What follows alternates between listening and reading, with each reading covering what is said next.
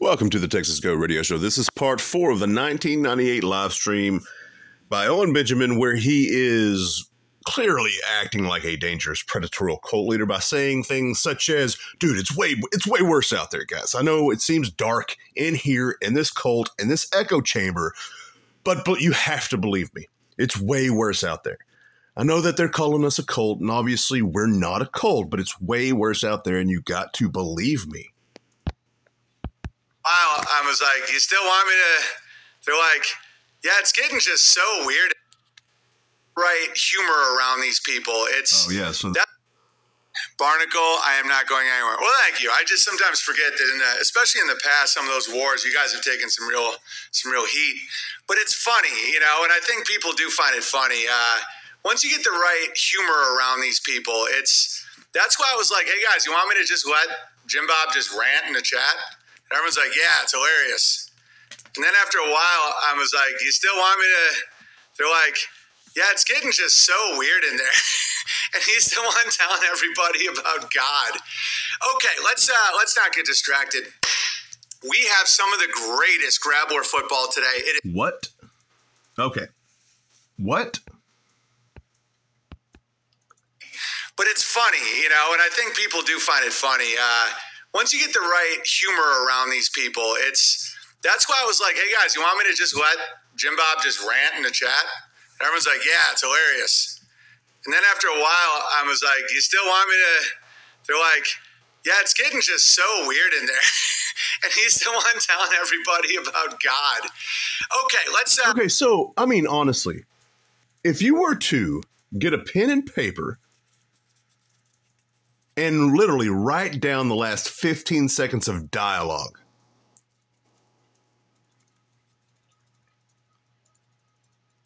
He does that so often where he starts a little something, trails off, starts a little something, trails off, starts a little something, trails off because he's not actually saying anything.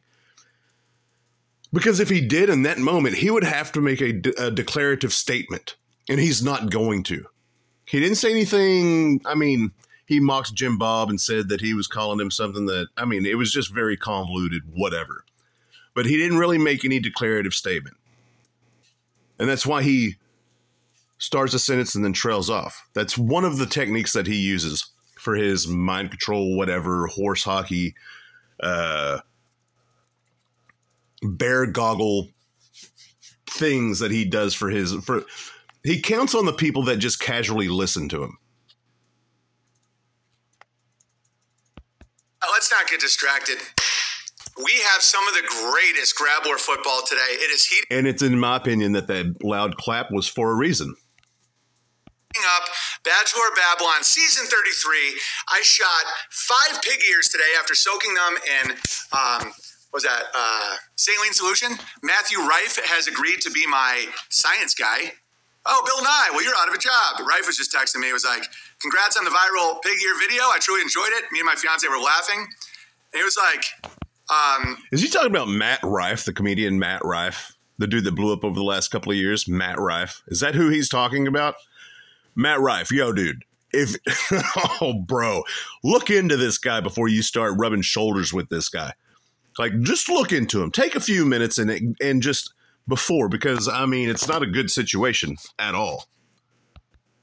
yeah, so I don't know what's public. it, Um, I've, uh, yeah, basic. That's so. Cr- I don't know. He's literally looking through private text messages, and he says, "I don't know what's public. Probably none of it." But he he's a Hol- Owen Benjamin is a Hollywood whore, and I mean that in full context of both words in full definition. Hollywood whore. He is Hollywood without the Hollywood. He is a scorned ex lover of Hollywood, and not even a lover, like a side piece that, in the most grotesque and perverted way possible.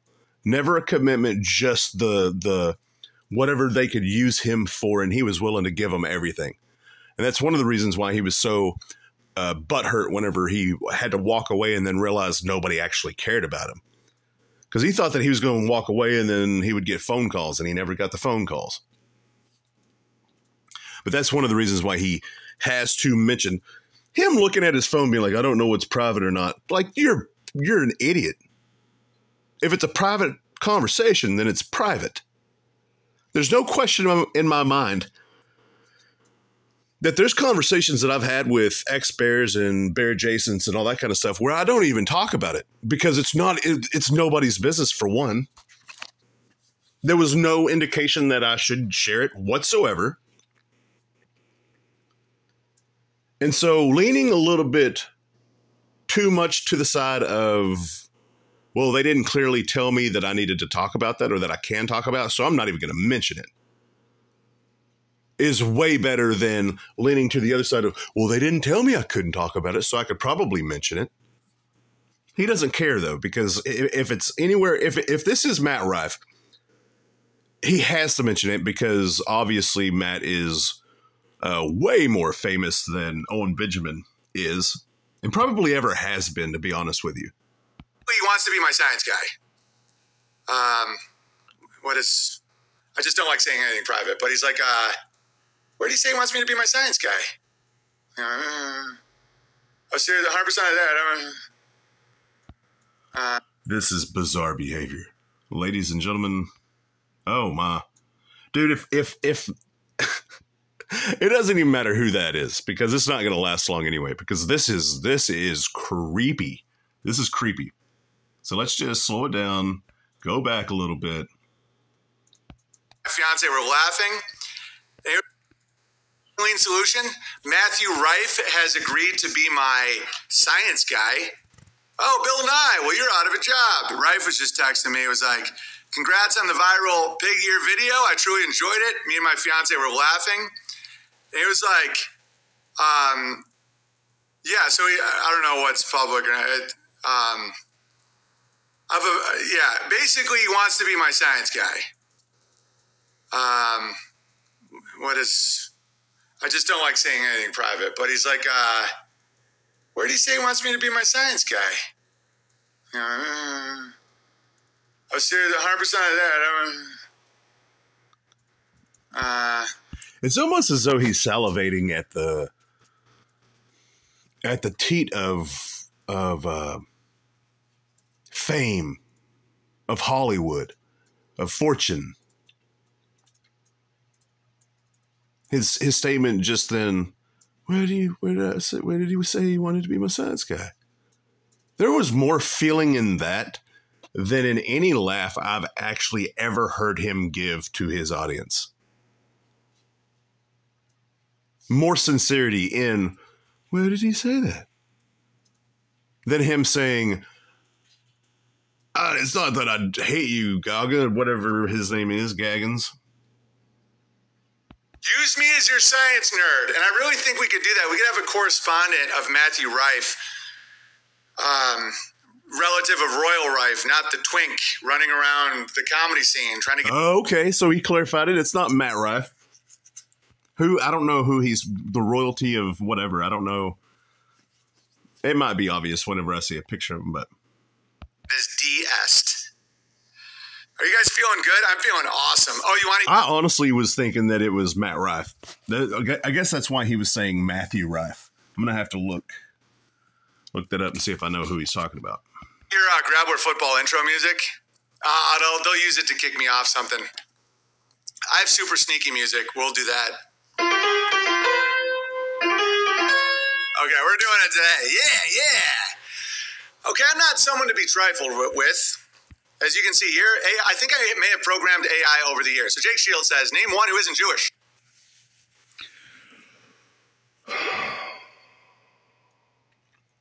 And he, whatever he, because that's such a ridiculous statement. You would assume, oh, obviously he's kidding, but he isn't. He genuinely believes that there's a possibility that he has definitely some kind of influence over creating AI or whatever, programming it or something. I know that that's hard to believe, but if you actually listen to the things that he has said, it's not that it's it's not as though that doesn't make any sense for him to actually believe that. Or at least present himself as somebody who believes it. He makes the statement that he's grown two inches since he started living the wilderness life or whatever. He went from six six to six eight. Because of his diet. After his, what was it, 35 to 40? He's what, 44 now or something? About uh, BlackRock.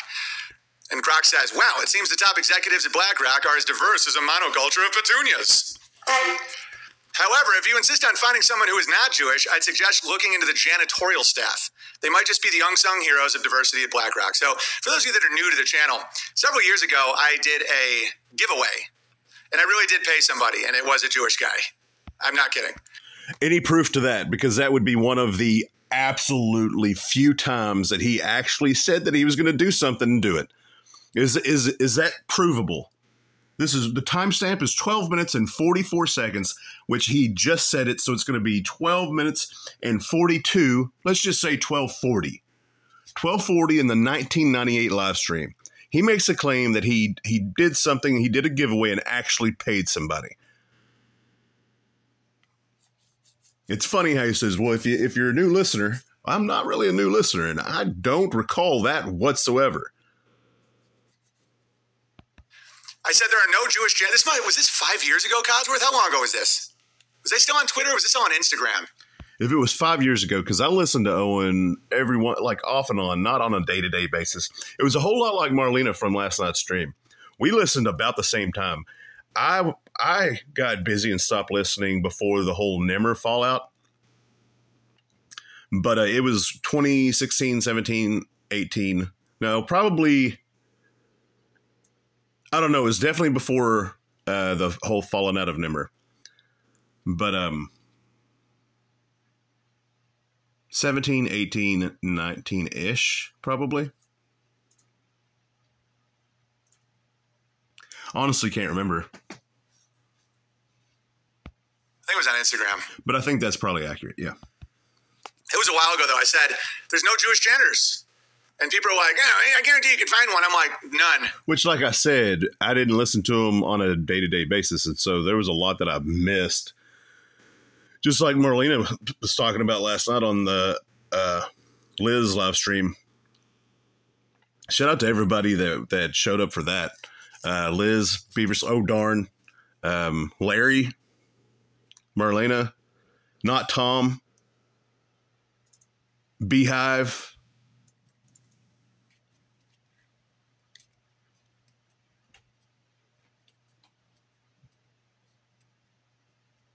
Oh man, was it CJ?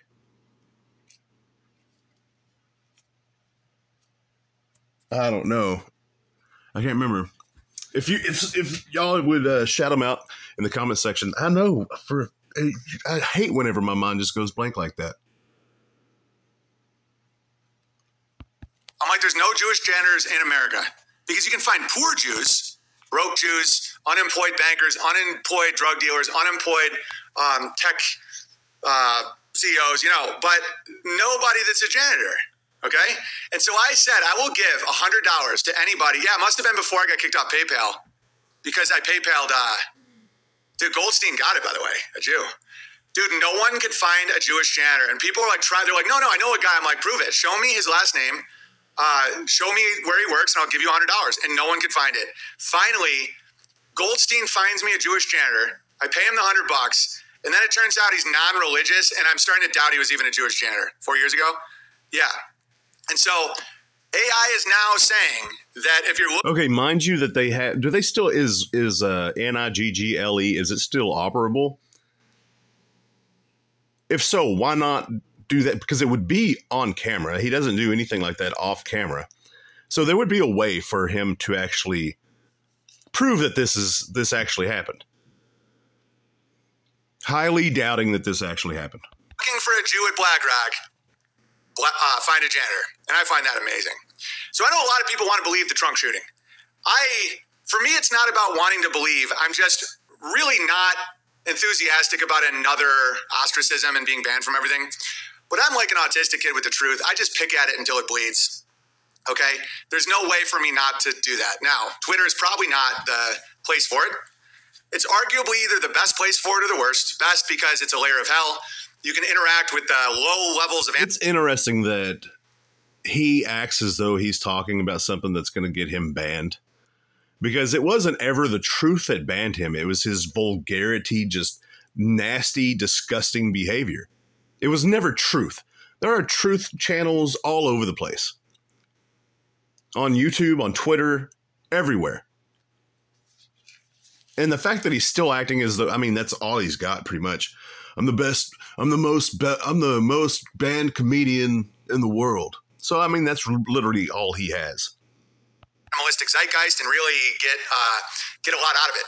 But it also can trigger just hordes of, you know, slaves that just freak out. And so um, I've been diving deep into the shooting, and I really, really want to talk about it.